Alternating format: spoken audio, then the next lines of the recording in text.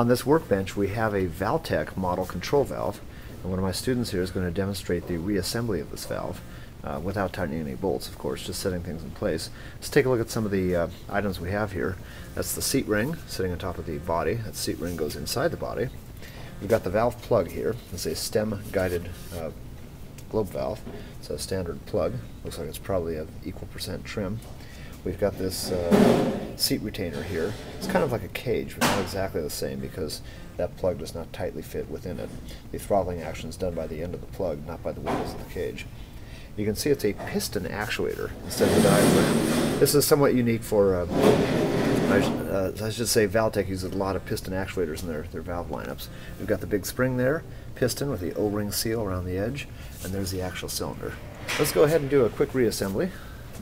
There we go, putting the seat ring into the valve body. And there goes the seat retainer. There's the valve stem and plug. There goes the bonnet. And then a separate flange that holds the bonnet down onto the valve body. Then, looking at the actuator, spring goes in first, setting the piston inside, see the tight fit with the cylinder. We have the yoke of the actuator there, and there's a C-ring, a clip ring, that, a snap ring that goes inside. Going to hold it together, and that whole assembly goes on top of the valve like that. Then it's coupled together, the uh, actuator stem with the valve stem itself, with that coupling unit, and that's how the assembly works. This, ah. is, this is a little different.